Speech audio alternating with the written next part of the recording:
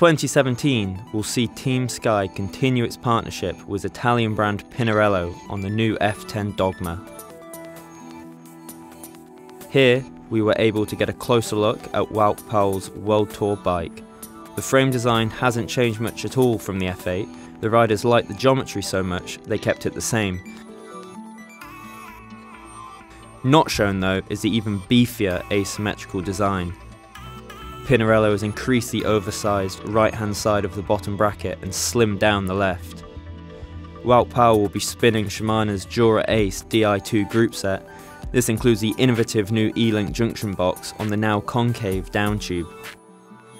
By moving this from the front of the bike, Pinarello hoped to make it as aero as possible. Shimano will also take care of the wheel set. The F10 will be shod with their Dura-Ace wheels, while Continental take care of the tyres. Hidden out of view is the Stages power meter, a vital piece of kit for the team. Sky is partnered for its fourth consecutive season with the company.